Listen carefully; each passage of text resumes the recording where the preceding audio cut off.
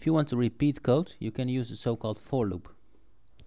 Uh, so if you have like some uh, some block of code that you want to do over and over again uh, you can simply repeat it with the for loop. Um, so let's do that. So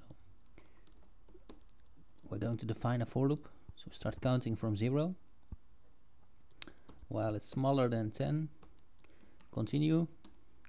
And inside that we're just going to print the variable i. So if we run this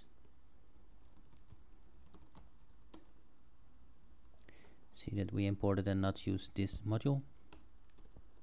Okay I'm going to run it again and you'll see that it counts from 0 to 9 so if you want to actually count to 10 add the equality symbol. So now it counts to 10 and maybe you want to start from 1 so from 1 to 10 there you go. And you can do various operations here so whatever code you want to repeat so maybe one times i or something. Really depends on what you want to do.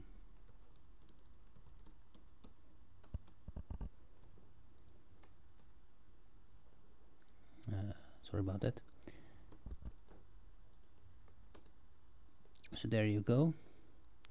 Uh, we're actually not printing the value of x.